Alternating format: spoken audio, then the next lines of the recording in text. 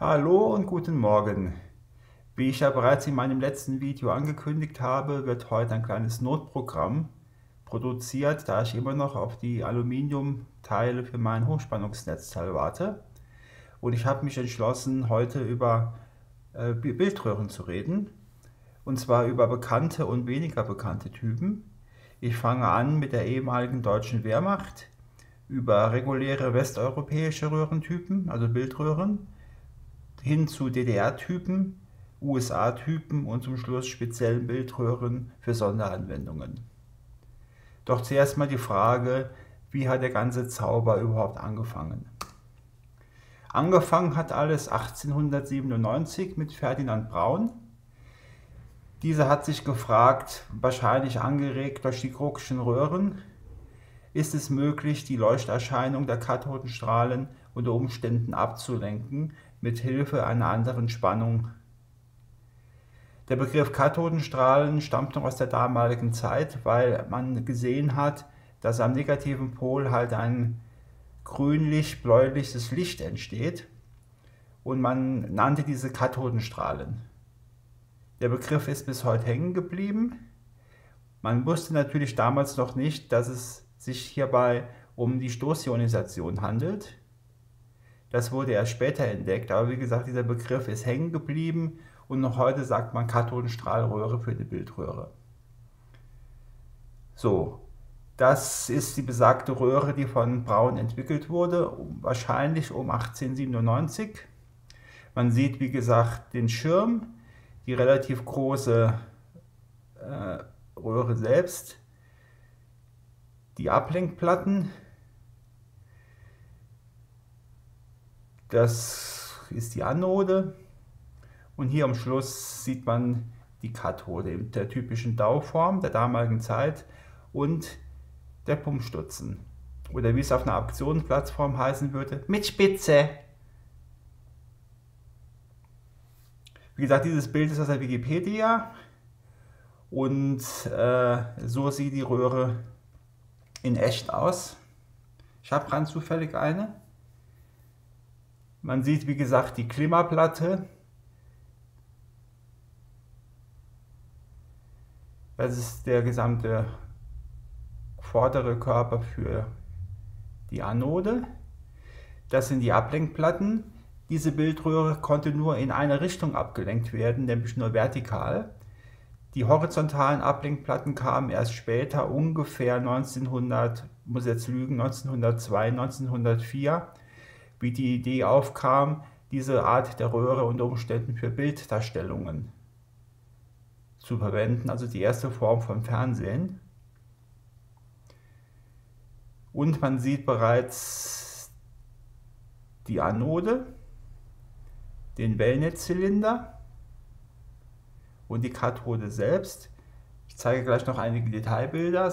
Im Prinzip sind schon alle Elemente vorhanden, die auch in modernen Bildröhren enthalten sind. Und natürlich den Pumpstutzen. Diese Röhre wurde handgefertigt. Sie ist ungefähr 65 cm lang und wiegt ungefähr gefühlte 2 Kilo. Also sie ist schwer. Das ist eine Detailaufnahme der Kathode. In den ersten Röhren waren die Kathoden typischerweise als einfache Scheibe ausgelegt. Das hier ist der elektrische Anschluss. Hier sieht man schon einen Teil des Wellnetzylinders. Das ist eine seitliche Aufnahme der Kathode. Ob es sich hierbei jetzt um eine Lötung oder um eine äh, Quetschung handelt, oder eine Mischung von beiden kann ich nicht wirklich sagen. Also ich weiß nicht, welche Methoden bei der Produktion benutzt wurden. Das ist eine Detailaufnahme des Pumpstutzens. Auch hier ist schön ist die Hinterseite der Kathode zu sehen. Die Röhre ist wie gesagt nicht evakuiert, es handelt sich um eine Ionisationsröhre. Der Druck ist noch zur damaligen Zeit äh, sehr schlecht, also nur ein sehr schwacher Unterdruck. Die Röhre ist auch nicht mit Gas gefüllt, sondern enthält die reguläre Atmosphäre, also Stickstoff, Sauerstoff. Es gibt kein Datenblatt. Laut Quellen im Internet äh, soll die Röhre mit äh, mehreren 10.000 äh, Volt betrieben worden sein. Was hinkommt, wenn halt wie gesagt nur ein sehr schwaches Vakuum herrscht, müssen natürlich dann die emittierten Elektronen natürlich mehr oder weniger mit Gewalt nach vorne geprügelt werden. Das ist eine Detailansicht der Elektrode für die Kathode sowie die Lötung, Klammer auf, Quetschung, Klammer auf, was auch immer.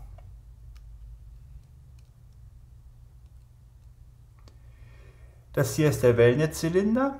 Der Wellnetzzylinder gibt es auch noch heute. Dieser ist gegenüber der Kathode leicht negativer geladen oder im schlimmsten Fall als auf Kathodenpotenzial. Der Sinn dieses Zylinders ist, den Elektronenstrahl wieder etwas zu bündeln und zu fokussieren.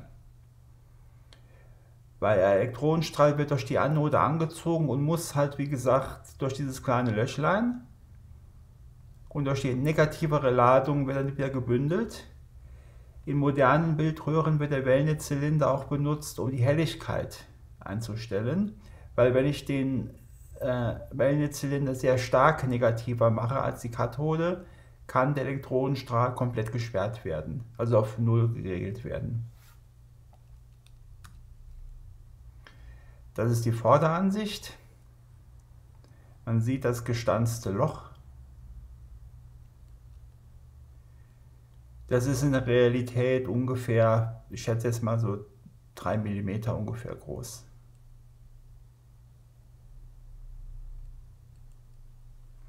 Das hier ist eine Seitenansicht des Wellnet-Zylinders. Auch hier sieht man die etwas, wie soll ich jetzt sagen, mundgeblasene Lötung, keine Ahnung.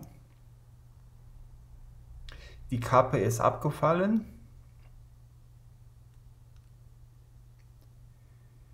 Das ist eine Seitenansicht. Man sieht hier, wie gesagt, den Wellnetzylinder und die Anode.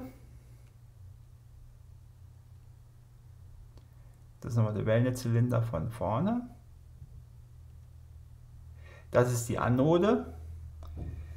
Die Anode formt, wie gesagt, einen Elektronenstrahl als Strich.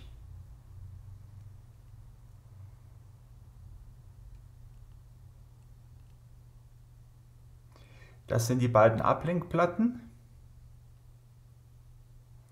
Auch hier geht noch dasselbe Prinzip wie bei den modernen Bildröhren. Wenn beide Platten elektrisch neutral sind, also dieselbe Ladung haben, erfolgt keine Ablenkung und der Elektronenstrahl passiert die Ablenkung ohne die, äh, die Platten ohne Ablenkung und erst wenn die Platten eine unterschiedliche elektrische Ladung haben, ist es möglich, den Elektronenstrahl entsprechend dann nach oben oder unten abzulenken. Das ist eine Detailansicht der Platten.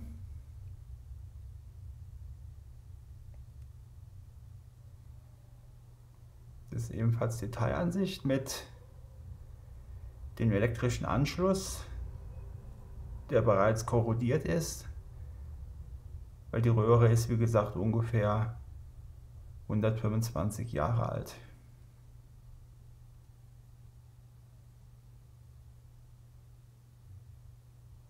Auch hier wieder eine Seitenansicht. Das ist die Röhre in kompletter Länge. Übrigens, die Hand gehört meinem Mann. Der war freundlicherweise mein, äh, mein lebendes Stativ. Aus schön ist jetzt, wie gesagt, die, den Aufbau zu sehen. Kathode, Wellnetzzylinder, Anode, Ablenkplatten und Anode beziehungsweise Leuchtschirm. Das ist nochmal eine Detailaufnahme der oberen Systems. Das ist die Anode also der Zylinder der Anode. Das ist nur gestanztes Blech. Hier nochmal Seitenansicht der Ablenkplatten. Und jetzt kommen wir zur, zum Leuchtschirm. Der Leuchtschirm besteht aus Glimmer. Ob dieser beschichtet ist, kann ich leider nicht sagen, auch weiß ich nicht, welche Farbe der Leuchtfleck hatte. Es gibt, wie gesagt, kein Bild in Betrieb. Äh, eventuell werde ich mal versuchen, irgendwann die Röhre in Betrieb zu nehmen. Aber wie gesagt, das ist nur eventuell. Das in die falsche Richtung, genau. Das ist die Bildröhre von vorne, also die Klimmerplatte von vorne. Man sieht, alles ist mit Glasstreben gehalten. Das Ganze wirkt auch sehr fragil. Und mich wundert es so ein bisschen, dass die Röhre die 125 Jahre durchgehalten hat. So, aber das sind jetzt wie gesagt, das ist die historische Röhre. Das Bild aus der Wikipedia lösche ich wieder, weil es gehört nicht zu meiner Datenbank. Und wir unterhalten uns jetzt weiter über die etwas moderneren Röhren. Nämlich wir fangen an mit der deutschen Wehrmacht, der ehemaligen deutschen Wehrmacht, mit der LB7 von Löwe Opta. Ich fange deshalb mit dieser Röhre an, weil diese Röhre hat einen sehr offenen Aufbau und sie ist sehr schön ähm, zu sehen, wie die Röhre aufgebaut ist mit allen Elementen, die es bis zum heutigen Tag gibt. Und das muss man jetzt hier in klein angucken, das kann man sich auch in groß angucken. LB, LB, LBL, LB, Blödsinn. LB7 haben wir gesagt. Oh. Ja, das ist der Postboot.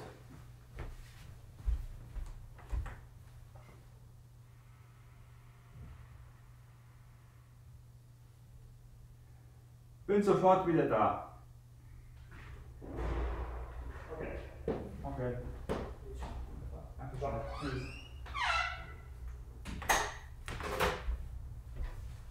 So, bin ich wieder. Man sieht, wie gesagt, alle Elemente der Röhre. Nämlich, wie gesagt, hier oben ist die indirekt geheizte Kathode.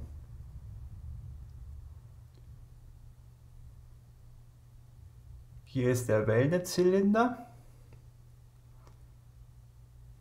Hier ist die Fokussier-Elektrode. Das ist die Beschleunigungsanode, Entschuldigung, die erste Anode. Wieder eine Fokussier-Elektrode. Dann kommt die vertikale Ablenkplatte. Und dann kommt die horizontale Ablenkplatte. Bei fast allen Röhren ist die vertikale Platte zuerst weil die vertikale Platte hat die höhere Empfindlichkeit, weil an dieser Stelle der Elektronenstrahl noch relativ langsam ist und somit besser auf die Ablenkung reagieren kann, während der Elektronenstrahl auf der X-Ablenkung, also auf der Horizontalablenkung schon beschleunigt ist und schlechter reagiert. Also die Y-Platte hat somit eine höhere Empfindlichkeit. Das Ganze sieht im Schaltbild dann so aus. Ich habe hier natürlich meine Röhrenheizung ich habe hier meine indirekt geheizte Kathode. G1 ist in diesem Fall der Wellnetzylinder. G2 ist der besag die besagte Fokussierelektrode. A1 ist die erste Anode, das ist diese hier. A2 ist die Beschleunigungsanode. Und in diesem Fall ist die Beschleunigungsanode die Graphitbeschichtung. Also die Graphitbeschichtung der Röhre ist die Beschleunigungsanode. Bei neueren Röhren hat diese auch einen eigenen Anschluss am Kolben aufgrund der Hochspannung. Diese Röhre von Opta arbeitet ungefähr zwischen 500 und 800 Volt, also noch einigermaßen moderat. Das ist eine Spannung, die ich noch mit dem Stahlröhrensockel einigermaßen beherrschen kann. Und natürlich am Schluss ist die Ablenkung, also die Messplatten ist die vertikale Ablenkung und die Zeitplatten ist die horizontale X-Ablenkung. Also die Messplatten sind diese zwei und die horizontale Ablenkung ist das hier, also der untere. Und danach geht es dann im freien Fall zur Leuchtschicht. Hier das Ganze ein bisschen etwas größer. Hier ist der Anschluss der Kathode.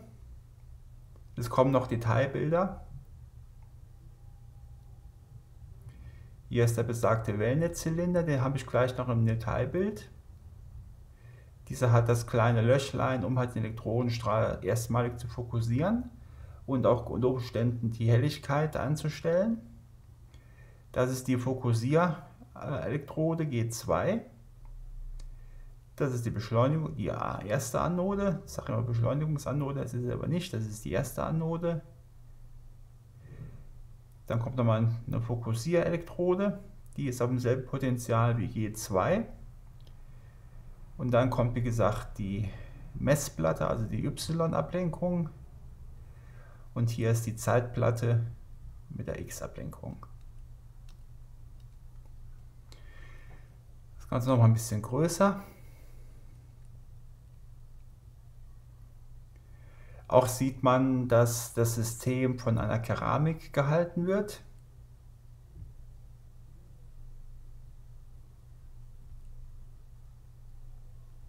Hier ist die Y-Platte im Detail. Hier sieht man jetzt auch den Austritt der zweiten Fokussierelektrode.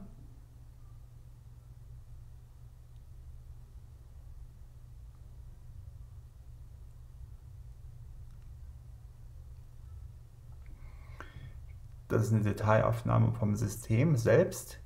Hier ist wie gesagt die zwei Heizfäden. Die Glasisolation der einzelnen Drähte.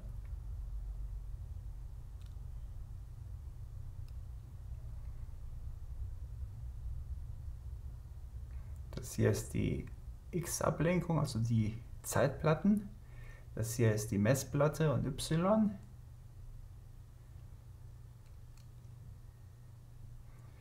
Das ist ein Blick ein bisschen schräg von oben auf die Leuchtschicht. Das ist nochmal eine Systemansicht.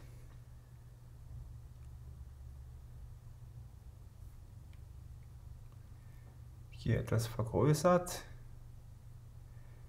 Wie gesagt, hier ist die Anode. Das ist die zweite Fokussierelektrode. Hier ist die Messablenkung, also Y-Ablenkung, X-Ablenkung, das obligatorische Tatütata und seitlich natürlich die Graphitbeschichtung für die Beschleunigungsanode.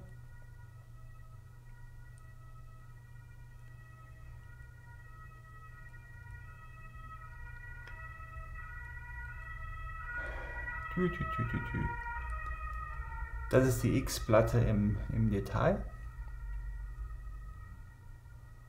Das ist die Y-Platte im Detail. Hier ist wie gesagt der Ausgang der Fokussieranode, Entschuldigung, Fokussierelektrode.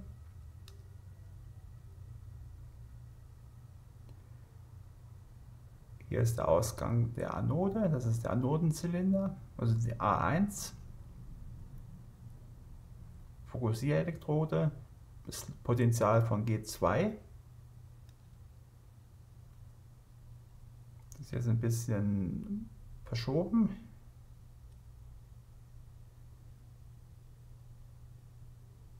Hier sieht man den Ausgang des Wellnetzylinders.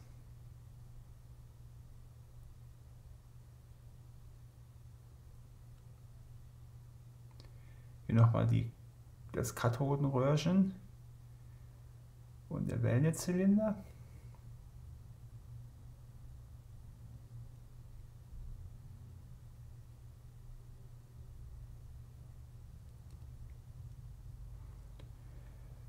Das ist nochmal eine Detailaufnahme vom System. Das ist der Stahlröhrensockel der Röhre.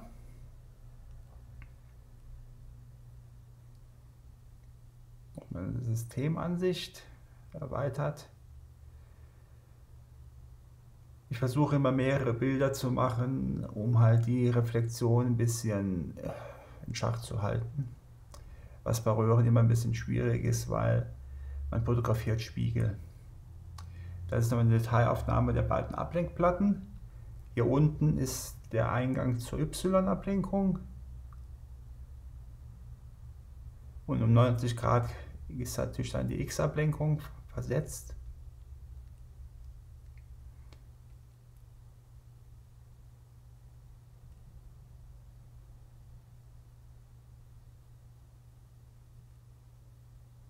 Das ist die Röhre am Stück und der obligatorische Blick komplett auf die Leuchtschirme.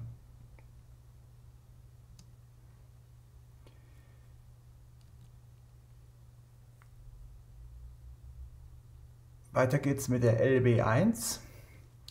Die LB1, LB2 und LB8 haben den, äh, die Funktion, dass sie im laufenden Betrieb mehr oder weniger ausgetauscht werden können von vorne, also ohne das Gerät zu öffnen. Ups. LB1. Das ist die LB1. Dieses ist von Telefunken produziert.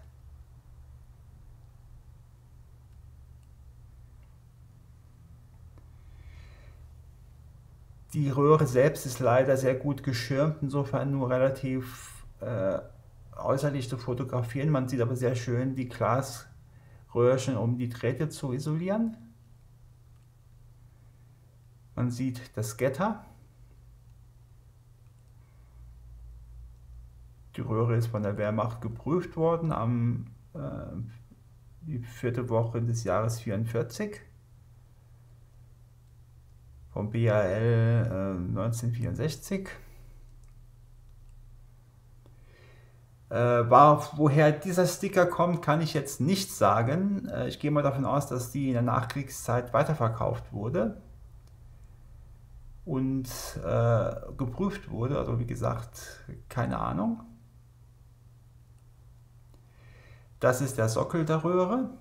Wie gesagt, diese Röhre ist ausgelegt, um sehr schnell gewechselt zu werden praktisch in der laufenden Operation. Heute würde man wahrscheinlich sagen, es ist eine Schnellwechselröhre. Deshalb ist der Sockel sehr einfach aufgebaut. Also sprich, es gibt keine, kein Haltezapfen. Der Haltezapfen ist am, am, ähm, am Kopf der Röhre. Das ist nochmal eine Detailansicht der Kathode, soweit es halt sichtbar ist.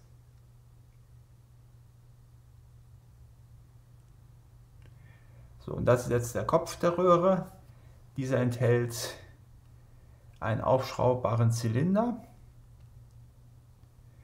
Ich kann nämlich verschiedene Einlagen in die Röhre machen, um diese für verschiedene Zwecke nutzen zu können. Zu den Einlagen kommen wir gleich. Und man sieht diesen Haltezapfen, den ich rausklappen kann, um die Röhre direkt rausziehen zu können und neu einsetzen zu können. Seitlich sind auch die beiden Haltezapfen zu sehen, die die Röhre arretieren. Und zum Schluss, wie gesagt, der Blick in die, äh, auf die Bildschirm. Allerdings hier wurde keine Einlageplatte verwendet, sondern hier wurde mit, mit einem Edding die Markierung selbst gemacht. Äh, Ob es zu Kriegszeiten war oder nachträglich, kann ich leider nicht mehr sagen. Wir machen mal weiter mit der LB2. Das ist eine Polarkoordinatenröhre, also sie hat die entsprechenden Einlagen.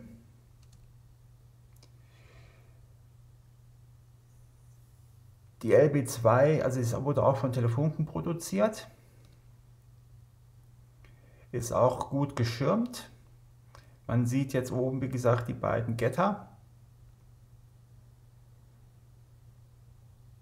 Die mit Glasröhrchen isolierten Drähte sowie die beiden Haltezungen, die das System mittig im Kolben fixieren. Derselbe Sockel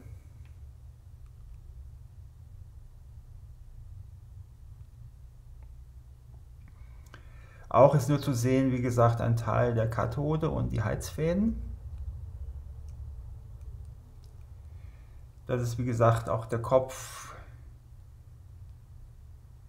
der Röhre. Wenn man genau hinschaut, sieht man, dass hier eine Kunststoffplatte eingelegt ist, die gewechselt werden kann. Nämlich die Platte enthält diesen Aufdruck. Auch diese Röhre ist, wie gesagt, über denselben Mechanismus wechselbar, also rausziehbar und wieder eine neue Röhre einsteckbar.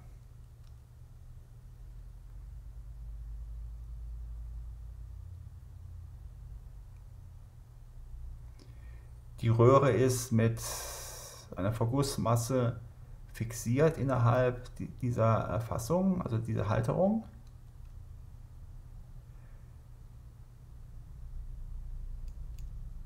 Und das ist nochmal der Blick auf den Schirm selbst.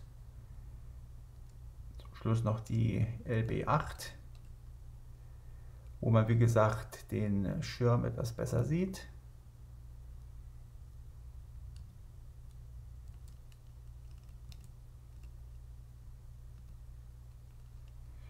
Der Aufbau ist wieder identisch. Ich habe mein gut, gut geschirmtes System, meine Glasisolationen, die Get-Up-Pfanne,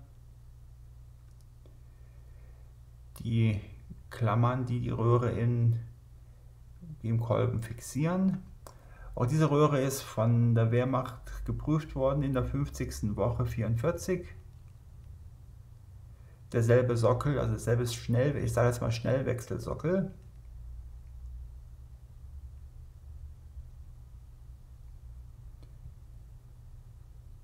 Glasstäbe.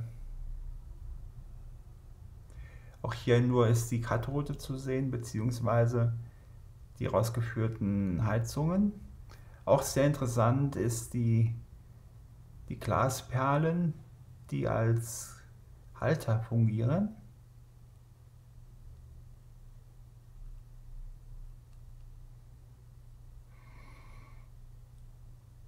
Die aufgestanzte Seriennummer in der Röhre.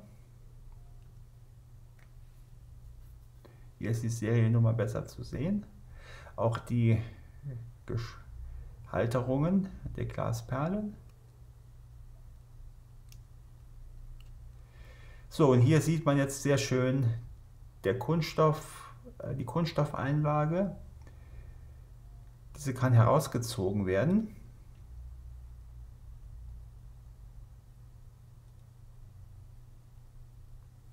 Hier ist der der Griff zum Rausziehen. Die Röhre ist leider schon so alt, dass äh, schon äh, die Platte so weit verstaubt ist, dass ich die Röhre, die Platte nicht mehr ohne Gewaltanwendung rausziehen kann. Insofern habe ich sie nicht rausgezogen. Aber man merkt, dass sie schon Spiel hat. Also wenn ich ein bisschen mehr Gefühl zeige, wird sie rauskommen. Aber ich möchte jetzt die Platte nicht unnötig strapazieren und gegebenenfalls kaputt machen. Insofern lasse ich sie dort, wo sie ist. Das ist eine Seitenansicht.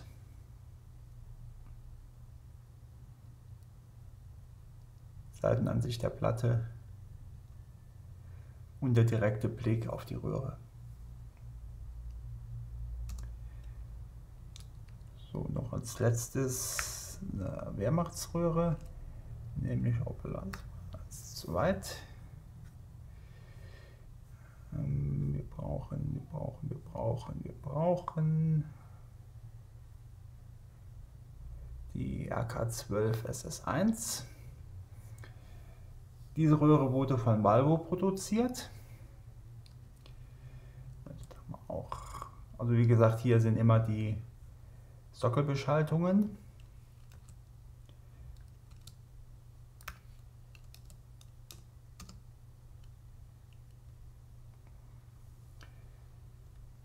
Die Röhre ist auch eine ziemlich dicke Bertha, also sie sieht jetzt schlank aus, aber wenn man sie in der Hand hat, ist es auch schon ein ordentlicher Oschi. Hat die üblichen Stempel der Wehrmacht, bevor jetzt das übliche Gemaule kommt. In dokumentarischen und historischen Zwecken darf ich das zeigen. Der Sockel ist etwas ungewöhnlich.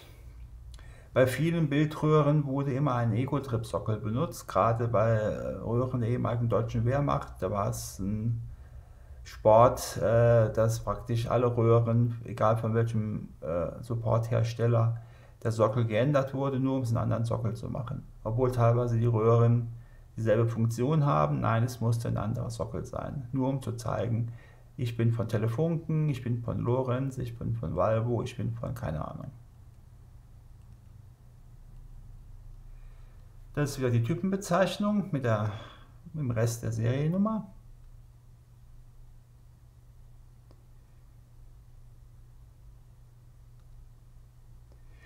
Die Röhre hat leider schon ein paar Farbspritzer abbekommen.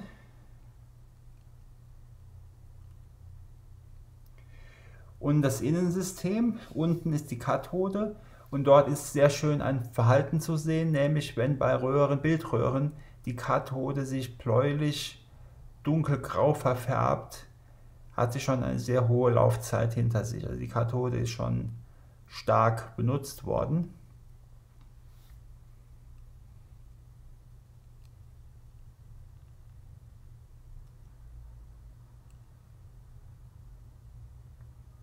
Die Kathode ist jetzt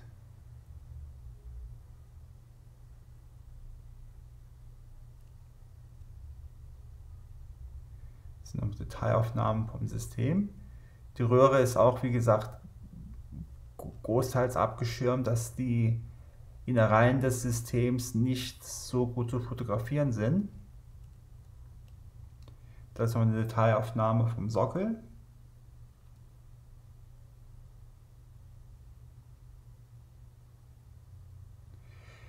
Das Datenblatt suggeriert so ein bisschen, dass diese Röhre auch äh, im Betrieb zu wechseln war oder die Möglichkeit gab, einen relativ schnellen Wechsel zu machen.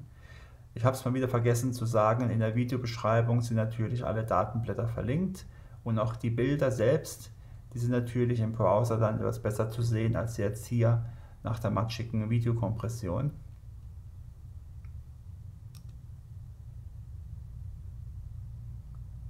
Und natürlich, äh, das Video ist in 4K produziert, also wer 4K sich anschauen kann, sollte es natürlich in 4K anschauen. Man sieht sehr viele Details, die man in der normalen SD-Variante dann nicht sieht. Hier sind auch die, Klimmerplatten zu sehen, die zur Stabilisierung des Systems selbst dienen.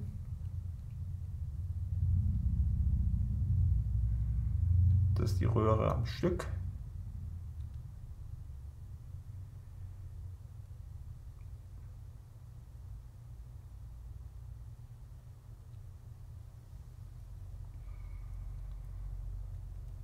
Man sieht hier auch wieder, wie dick das Glas ist. Das ist jetzt eine Detailaufnahme vom stabilisierenden Glassteg sowie auf der rechten Seite die Getterpfanne. Nochmal die schon etwas ausgelutschte Kathode.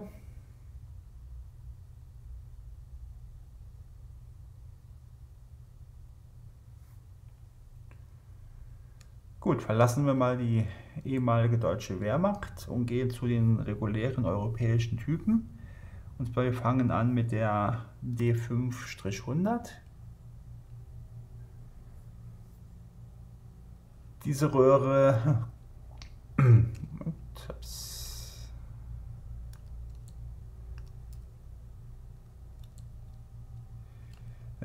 egal, welche jetzt nehme, die sind alle scheiße, die Bilder. Das Problem ist, ich habe von dieser Röhre drei Stück und alle drei sind entweder mit Banderolen zugeklebt oder irgendeine Schmiere ist am Kolben.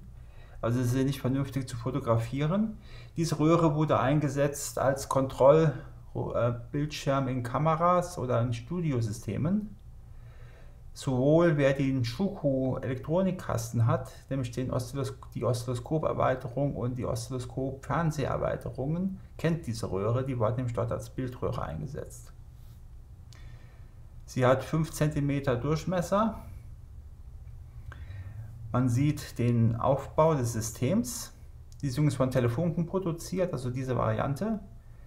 Hier ist die Kathode, der Wellnetzzylinder, die Fokussier-Elektrode und direkt beginnt dann hier die vertikale Ablenkung und ungefähr hier ist die horizontale Ablenkung.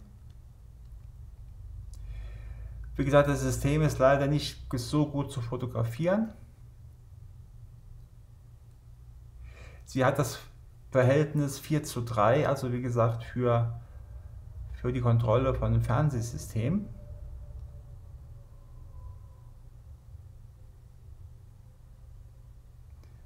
Hier ist auch das obligatorische Getter zu sehen. Es müsste ein Zirconium-Getter sein. Die Halteklammern, die das System im Kolben stabilisiert.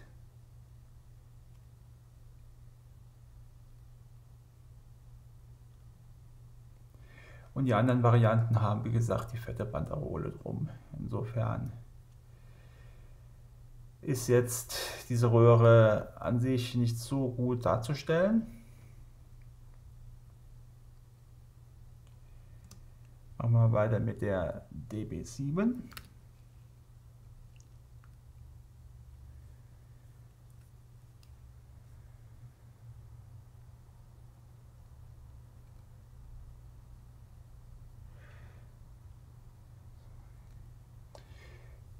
Das ist auch eine Kleinröhre von Valvo. Sie hat 7 cm Durchmesser.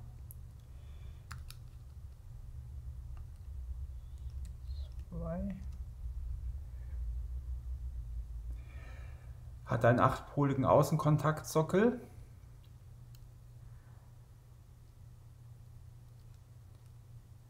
Und ist vom System sehr minimalistisch aufgebaut. Es gab eine ganze Reihe von solchen minimalistischen Röhren, auch unter anderem die amerikanische 913, zu der ich gleich komme. Man sieht hier, wie gesagt, die Kathode. Versteckt ist der Wellnetzzylinder, ungefähr auf der Höhe. Hier ist die Beschleunigungsanode. Und hier ist schon zu sehen die vertikale, also die ähm, vertikale Ablenkung. Und hier ist die horizontale Ablenkung ungefähr auf der Höhe.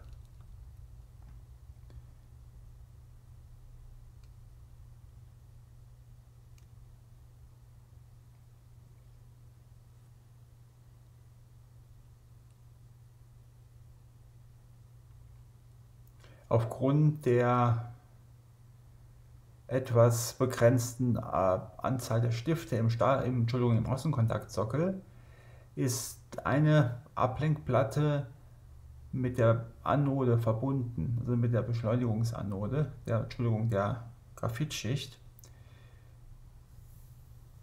Das heißt, bei der, beim Design der Elektronik muss darauf geachtet werden, dass natürlich dann die Ablenkspannungen entsprechend vom Potential passen.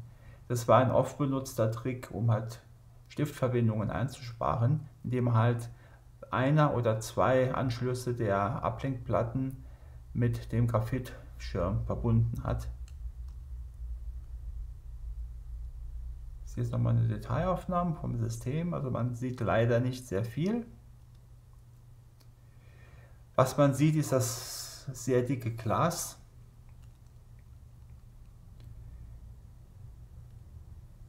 Und die Sicht direkt auf die Röhre.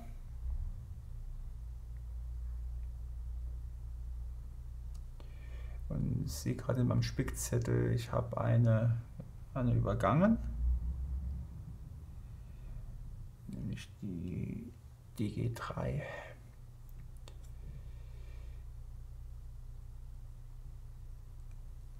Genau. Von dieser Röhre gibt es auch ein Video.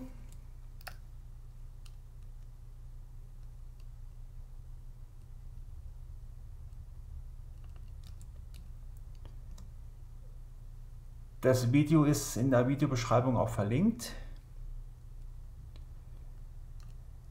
Das ist wieder die Röhre im Betrieb. Das ist der Leuchtpunkt. Der Aufbau der Röhre ist ähnlich wie die andere, also auch sehr minimalistisch. Auch mit einem achtpoligen Außenkontaktsockel.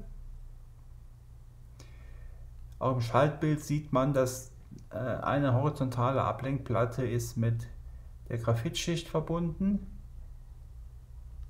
um halt Kontakte zu sparen.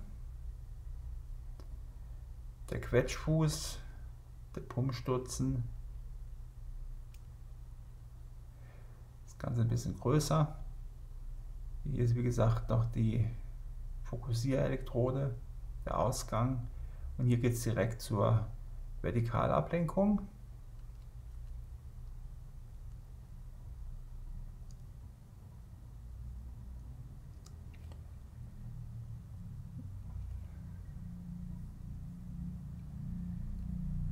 Dann geht es weiter mit der DH391, die ist auch ein sehr ähnlicher Aufbau, allerdings mit Loktalsockel.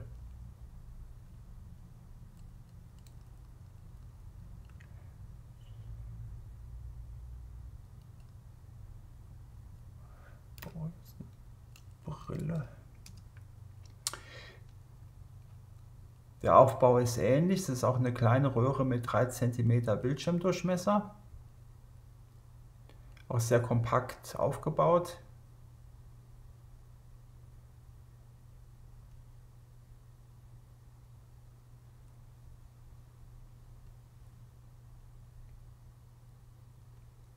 Und hat wie gesagt einen Loktalsockel.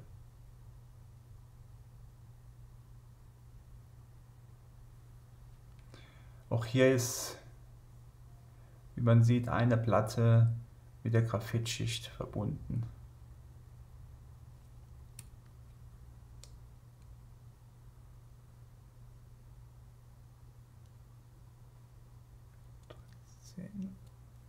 Zick.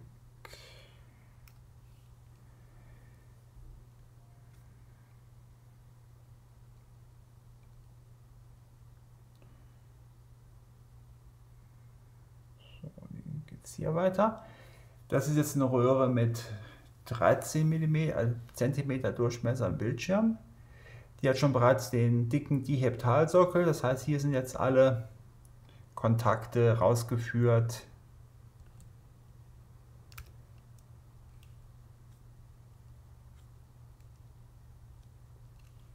Hm.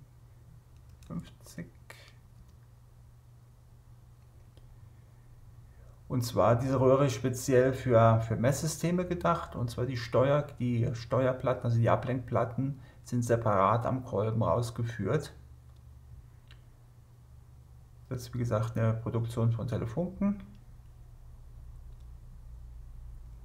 Hier ist die Detailaufnahme vom System.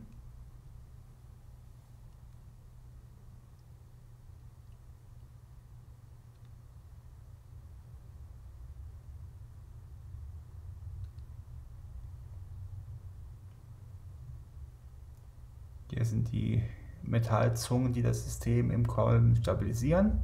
Und hier, wie gesagt, die Außenanschlüsse für die Ablenkplatten.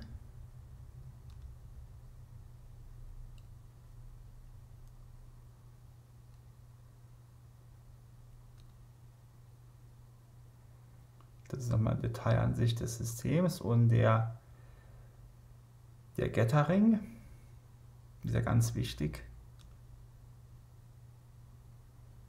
Das ist übrigens ein hufeiserner Getter.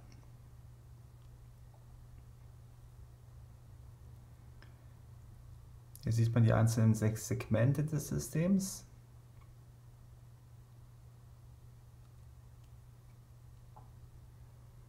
Hier ist der Übergang zu den Ablenkplatten. Nochmal die Einschmelzungen der Außenkontakte für die Platten selbst.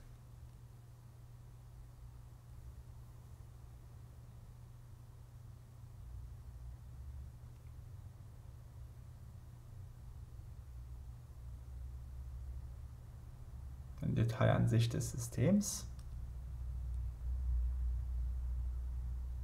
Die Keramikstabilisatoren oder Halterungen, wie, wie man sieht.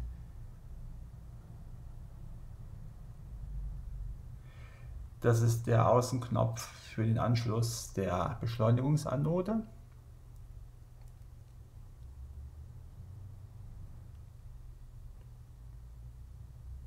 Die Typenbezeichnung. Die Leuchtschirm, der Leuchtschirm von der Seite und natürlich die Blick direkt frontal auf die Röhre.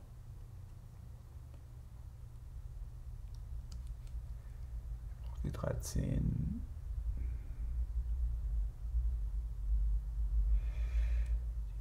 18, 14, genau.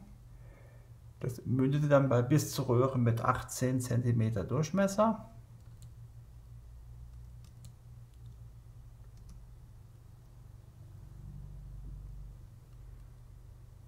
die auch schon einiges an Gewicht auf die Waage gebracht haben.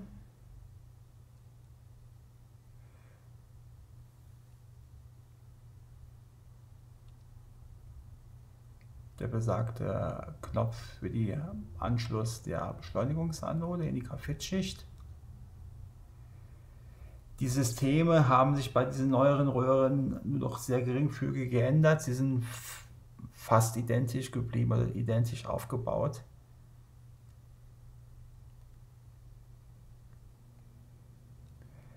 Aber hat nichts an der, der Tütata nichts dran geändert, dass sie schwierig zu fotografieren sind, weil halt Spiegel.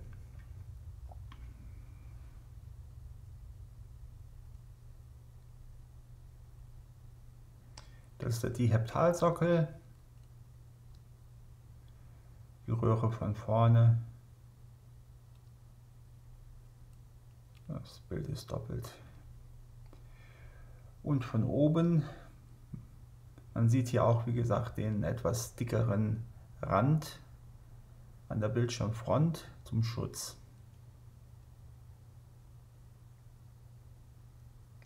Machen wir jetzt mal weiter mit den mit zwei DDR-Typen. Nämlich mit der B7S2. Sie hat 7 cm Durchmesser im Bildschirm.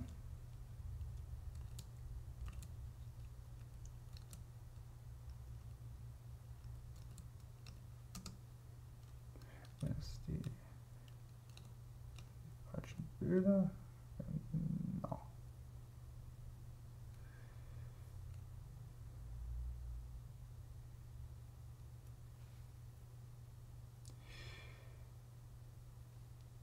Die Röhre ist wie gesagt äh, produziert vom RFT-Werk.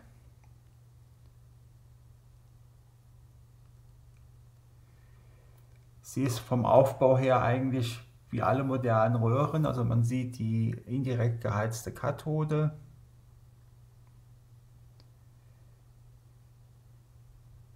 Die, äh, den, den Wellnetzzylinder, die Fokussierelektrode und die Beschleunigungs-, die, Entschuldigung, die erste Anode und die Ablenkplatten.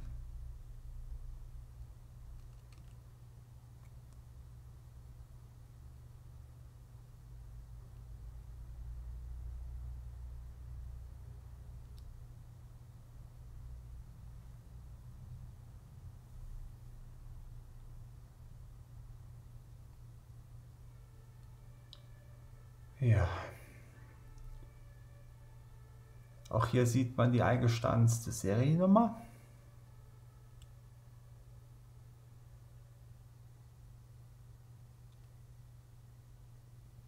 Eine Detailaufnahme vom System.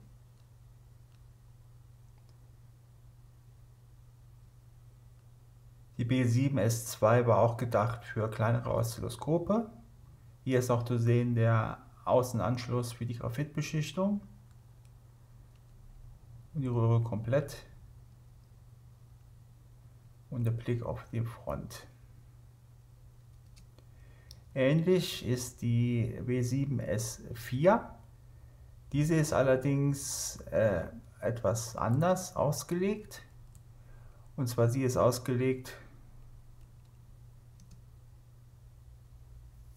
für eine höhere Beschleunigung und somit ein schärferes Bild. Das Problem ist, je langsamer der Elektronenstrahl ist, umso unschärfer wird das Bild, weil natürlich der Elektronenstrahl seine Fokussierung verliert. Und es ist sinnvoll, den Elektronenstrahl so schnell wie möglich zur Bildschirmfront zu prügeln, im wahrsten Sinne des Wortes, um halt ein möglichst scharfes Bild zu erhalten. Und diese Röhre benutzt halt wieder eine höhere Beschleunigungsspannung, auch vom RFT-Werk produziert.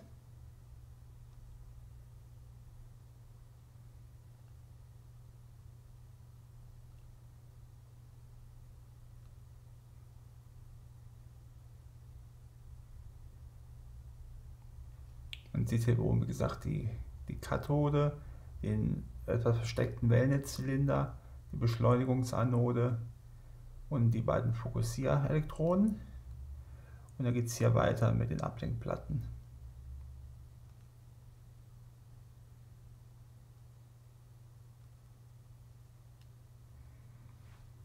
Das ist ein Versuch in die Röhre zu filmen, aber wie gesagt,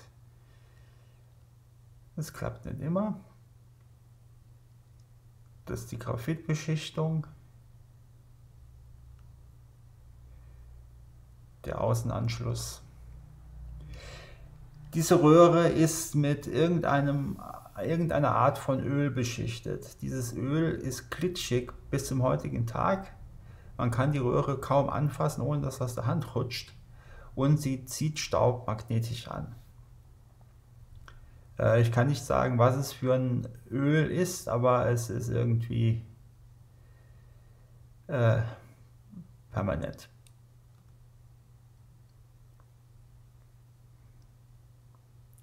Interessanterweise aber nur bei diesem Modell. Ich habe von der Röhre mehrere äh, Stück und sie haben alle diese besagte Ölbeschichtung. Das ist ein schönes Bild vom System.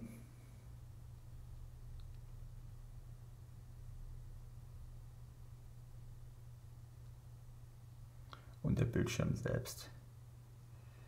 So machen wir mal einen Sprung über einen großen Teich zur, zu den amerikanischen Röhren. Wir fangen an mit der 2A P1. Sie hat ungefähr einen Durchmesser von 2 Zoll, 2,5 Zoll und ist auch für Kleinoszillographen ausgelegt.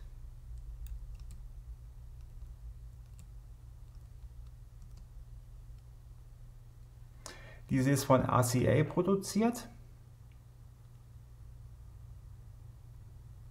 Hat auch schon ein bisschen Lebensdauer hinter sich, weil die Kathode ist auch schon beschlagen. Sie ist leider auch gut, gut geschirmt, insofern ist das System nur sporadisch zu fotografieren. Das ein, 8, ein 11-poliger Mangalsockel.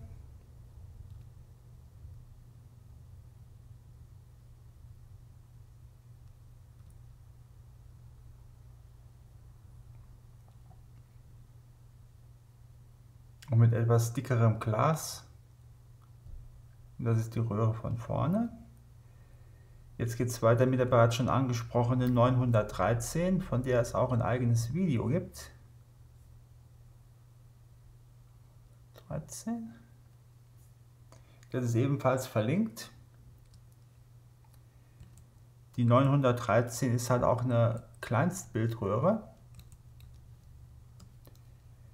die eingebaut ist in einem Oktalsockel. Aufgrund der begrenzten Stiftanzahl sind wie gesagt zwei Ablenkplatten verbunden mit der Graphitisierung, also der, dem, äh, der Beschleunigungsanode. Das muss beim, Entschuldigung, hier natürlich, das muss beim Bau der Konstruktion entsprechend berücksichtigt werden. Ansonsten ist der Aufbau typisch Kathode, Wellnetzzylinder, der ist hier als G bezeichnet, die Fokussieranode, das ist P1 in diesem Fall. Und der Rest ist, wie gesagt, die Beschleunigungsanode und gleichzeitig auch die Graphitisierung für den Schirm. Die Röhre ist an sich optisch sehr unspektakulär, weil sie halt komplett eingekapselt ist. Das ist der Bildschirm. Das ist die Frontalansicht. Das, wie gesagt, ist die Röhre in Betrieb. Man sieht als Schatten die Klimaplatte, die das System selbst hält und halt das Glühen der Kathode.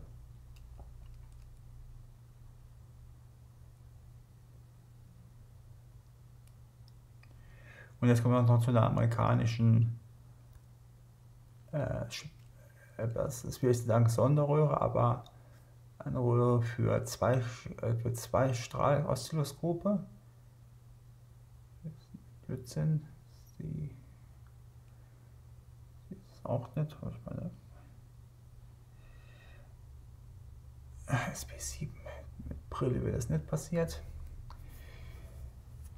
Diese ist produziert von Dumont und enthält zwei komplett getrennte Systeme, also eine Zwei-Strahl-Oszilloskopröhre.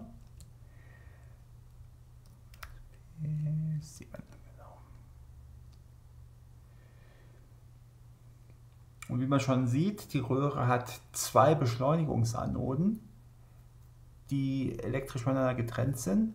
Nämlich das hier ist die Endbeschleunigung und das hier ist die Vorbeschleunigung.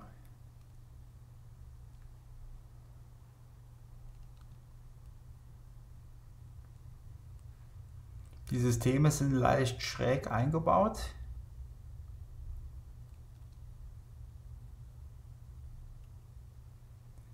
Haben aber auch den typischen Aufbau, das ist die Beschleunigung, die, äh, die erste Anode und das ist der Fokussierzylinder. Der zweite Fokussierzylinder, das Ganze gerade macht. Und dann geht es hier los mit der vertikalen Ablenkung. Das hier ist, wie gesagt, die Kathode mit dem Wellnetzzylinder. Man sieht hier das kleine Löschlein. Das ist die erste Anode. Das ist wie gesagt die Endbeschleunigung mit Anschluss und die Vorbeschleunigung mit Anschluss. Das ist ein Seitenbild des Systems. Mit beiden Systemen, um genau zu gehen. Auch hier ist alles mit einem, mit einem Glasträger stabilisiert. Und auch dort bei dieser Röhre sind die Ablenkplatten von außen mit einem separaten Kontakt zugänglich. Mit der Seitenaufnahme, hier ist auch das Getter zu sehen, beide Getter. Eine Detailaufnahme von der Kathode mit Wellnetzzylinder und der Anode.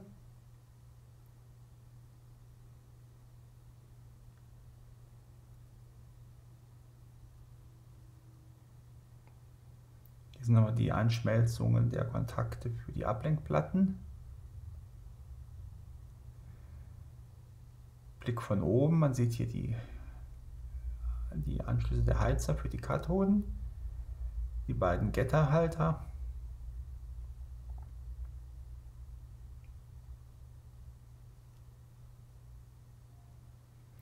Versuch die Ablenkplatten zu fotografieren. Hier sind die Anschlüsse. Das ist nochmal eine Detailaufnahme des Getters.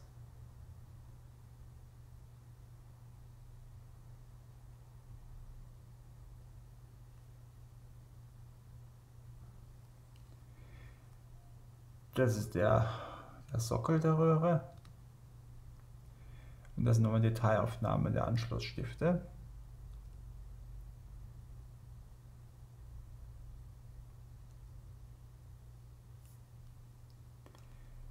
Wie gesagt, die Detailbilder alle sind auf der Webseite verfügbar.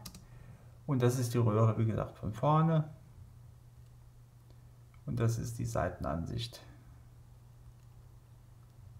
Immer der Sockel. So, das war's mit den amerikanischen Röhren. Jetzt bleibt der letzte Punkt, nämlich die Spezialröhren. Dann machen wir direkt den Sprung über den großen, nicht ganz so großen Teich, weil von von Alaska bis zur bösen russischen Seite ist es nur ein Katzensprung. Wir machen weiter mit russischen Röhren, nämlich einer Speicherbildröhre für zwei Strahloszilloskope. Nehmen wir mal die so lang. Von der habe ich, von, Entschuldigung, von der habe ich leider kein Datenblatt.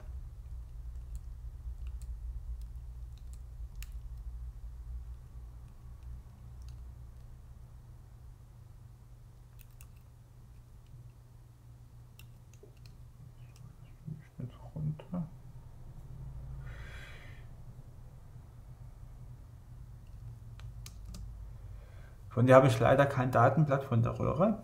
Aber das Interessante ist, das ist eine Bildspeicherröhre mit Hilfe einer Rieselanode. Das sind die beiden Systeme. Sie sind auch sehr typisch aufgebaut. Aber es gibt keine große Überraschung. Es gibt die Kathode, den Wellnetzylinder, hier ist das Slashline, die erste Anode, die Fokussierelektroden und darunter, es ist eine Seitenansicht, beginnen die Ablenkplatten. Auch hier sind die Ablenkplatten seitlich rausgeführt mit separaten Anschlüssen. Das hier ist eine Detailaufnahme der Ablenkplatten.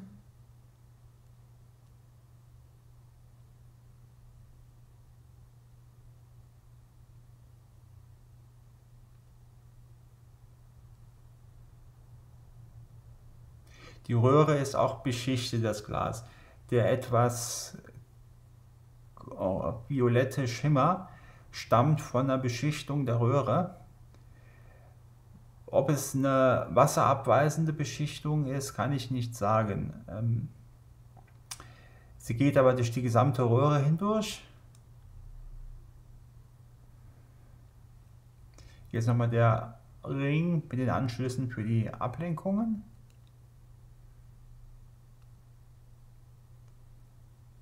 Das sind die Ablenkplatten im Detail. Und das ist jetzt die Rieselanode.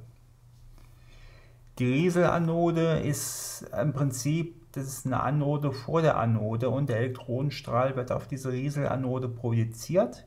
Und die Rieselanode besteht aus einzelnen Segmenten, die voneinander isoliert sind. Und der Trick dabei ist, durch die Isolation werden die Elektronen festgehalten und die Anode, also die unten drunter sitzt, kann durch eine höhere Spannung diese äh, Elektronen abziehen, dass diese auf die Anode drauf rieseln, her der Name. Und dieser Effekt kann eingestellt werden, indem ich das Spannungspotenzial der beiden Anoden variiere. Also je höher die Hauptanode, die die Leuchtschicht enthält, das Potential ist, umso schneller geht dieser Rieseleffekt, dass die gespeicherten Elektronen auf der Rieselanode halt runterfallen zur Hauptanode und somit halt das Bild projizieren. Die Röhre ist spezifiziert, soweit ich in Erinnerung Erfahrung bringen konnte, für maximal 30 Minuten Speicherzeit.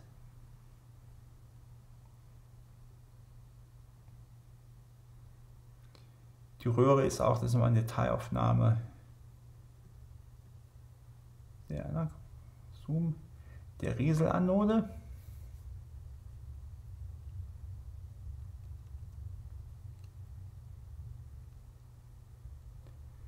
Und nochmal Detailaufnahmen der Systeme.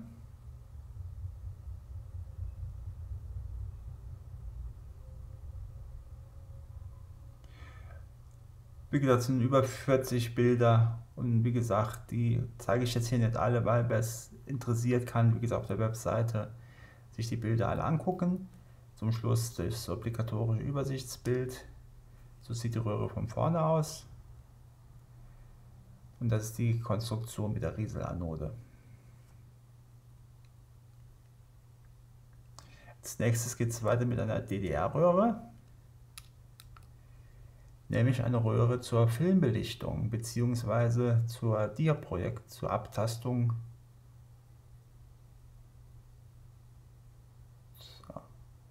Brille. Und zwar zur Dia-Abtastung und Filmabtastung in Systemen, um halt einen analogen Film für Fernsehgeräte, also für die Fernsehwiedergabe, elektronisch abzutasten.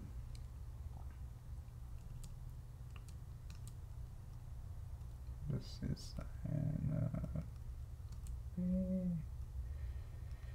BBB13. Die Röhre ist auch sehr lang, wird magnetisch abgelenkt.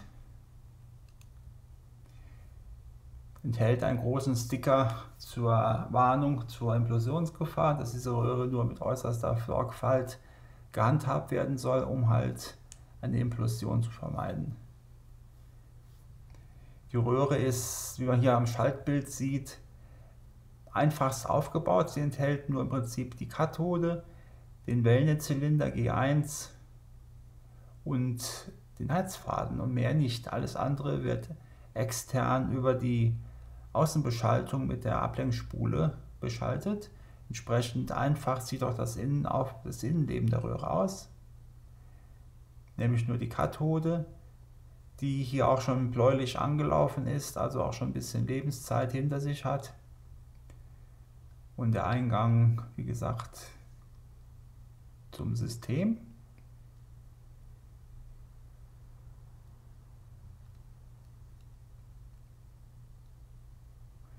Das ist der Sockel, das ist ein normaler Oktalsockel. Das ist die Beschleunigungsanode.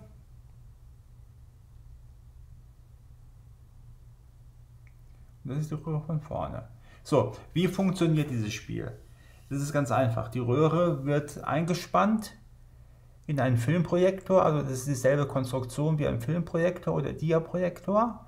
Und das Dia, also die Röhre liegt vor einer Optik, wo das Dia und der Film nur eingespannt wird und die Röhre projiziert das Fernsehbild regulär, wie es die Bildröhre darstellt, allerdings natürlich nur als hellen weißen Fleck. Und auf der anderen Seite ist eine Viticon-Röhre, die das Bild natürlich dann aufnimmt mit derselben Ablenkung, also gespiegelten Ablenkung. Und somit ist es möglich, ein analoges Dia oder analogen Film elektronisch abzutasten.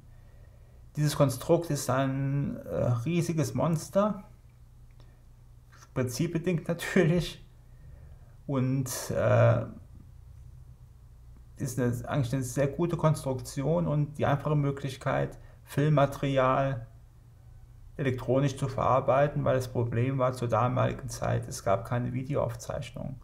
Beziehungsweise es gab zwar schon die, die Vorgänger der Videoaufzeichnung, die waren aber noch qualitativ zu schlecht, um halt im größeren Stil benutzt zu werden und vor allem auch zu teuer.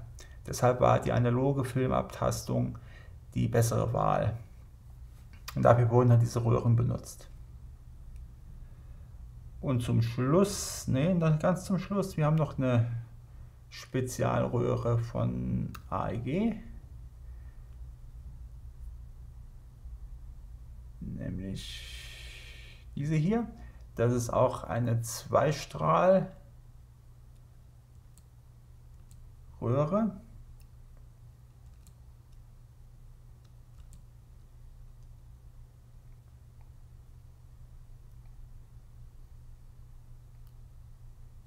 Beide Systeme können voneinander getrennt benutzt werden.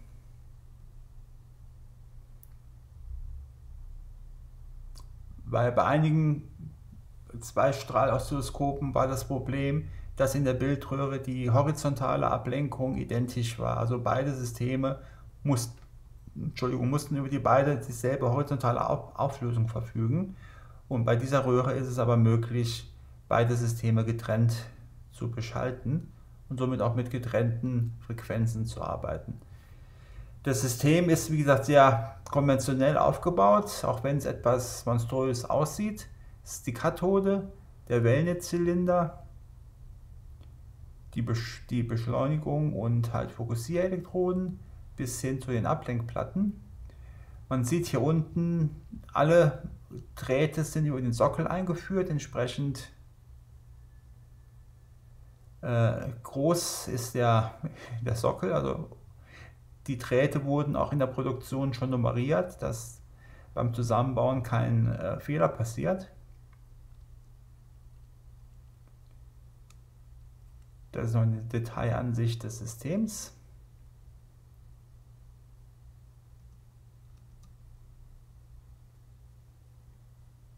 Das sind beide Systeme. Das Ganze ist auf einer Keramikplatte fixiert.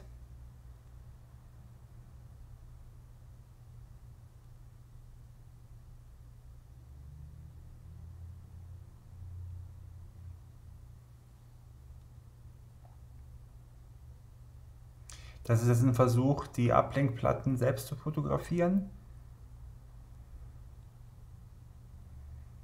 Ist so ein bisschen gelungen. Das ist der Bildschirm. Das Interessante an der Röhre ist der Sockel. Dieser macht auch den Eindruck, als ob er ausgelegt ist, dass die Röhre relativ schnell gewechselt werden kann. Äh, ich konnte leider keine Informationen darüber erfahren bringen, wo diese Röhre verbaut war. Sie muss wohl, ich sage jetzt mal, im Bereich der 40er Jahre produziert worden sein. Äh, wäre nett, wenn jemand Details kennt.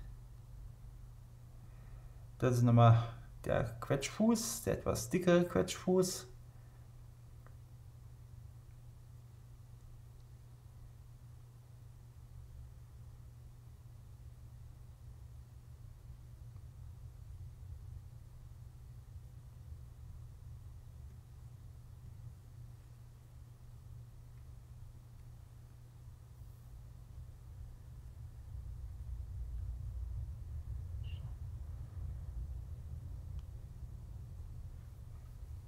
Also die Röhre ist schon komplex im Aufbau.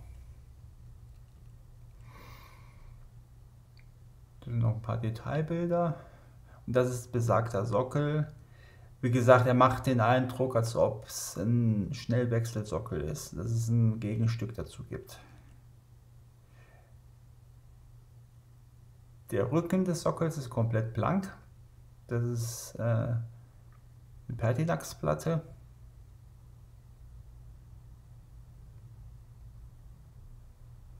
Und das sind die Kontakte.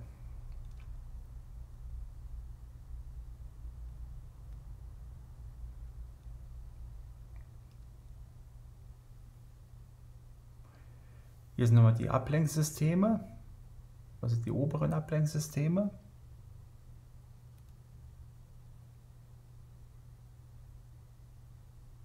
Ein Blick von oben in die Ablenkung.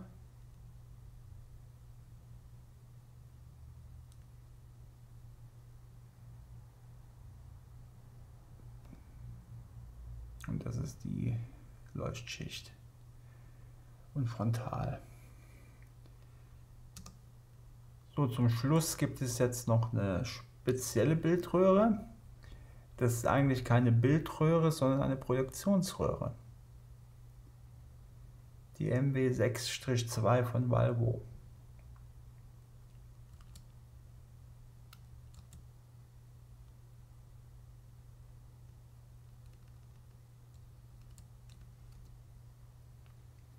Diese Röhre war in Produktionssystemen eingebaut, die es in der Tat schon Ende der 50er Jahre gab.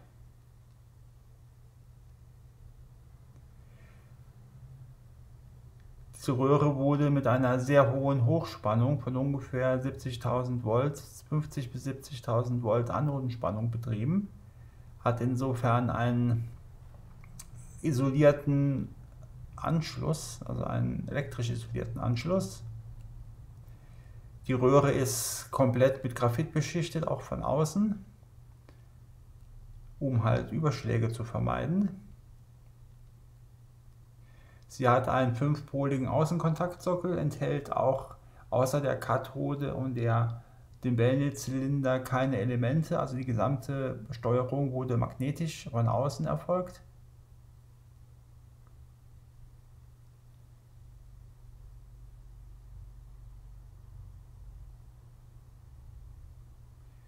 Das ist der Leuchtschirm. Und die Röhre wurde so, so hell betrieben, dass sie nur eine Betriebszeit von ungefähr 100 Stunden hat. Also die, die jetzt immer maulen, dass hier Videobeamer nach zweieinhalbtausend Stunden die Lampe ausgelutscht ist, die sollen sich nicht so beschweren, weil die ist nach 100 Stunden fertig. Es ist leider im Bild nicht gut zu erkennen gewesen, also zu fotografieren, aber man sieht schon Einbrennspuren der Projektion auf der Röhre. Sie hat schon ihre Stunden hinter sich. Das ist nochmal ein Detailbild zur Anode. Und das hier auch. So, ich habe gesagt, das hier ist ein, ein Notvideo und trotzdem sind es jetzt schon mehr als eine Stunde geworden. Ähm, ja, was soll ich sagen? Ich bedanke mich für die Aufmerksamkeit. Ähm, das nächste wird hoffentlich das Hochspannungsnetzteil. Das sollte jetzt Ende dieser Woche kommen, also die Platten, die, die Gehäuseplatten. Und schauen wir mal, was passiert. Ich bedanke mich für die Aufmerksamkeit und bis bald.